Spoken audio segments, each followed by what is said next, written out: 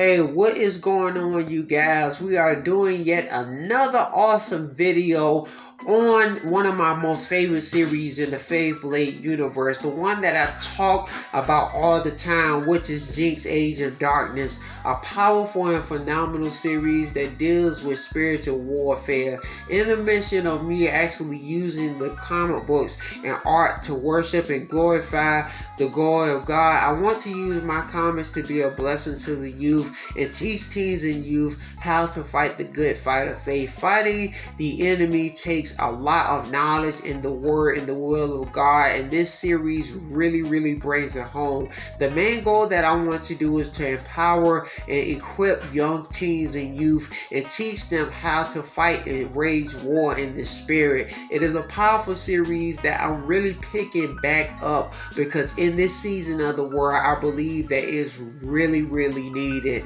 And so I want to begin to create titles not just for art, but actually being to create things that will be a blessing to the youth, empower them, and give them a hope and an expected end. The main goal of the Faithblade universe, as you guys already know, is to change the lives of the youth, community, and culture one comic at a time. If you guys would like to know more context, there are definitely links in the description to the official website. Really do appreciate you guys hanging in there and kicking in with me on this awesome video. And that's going to be about it.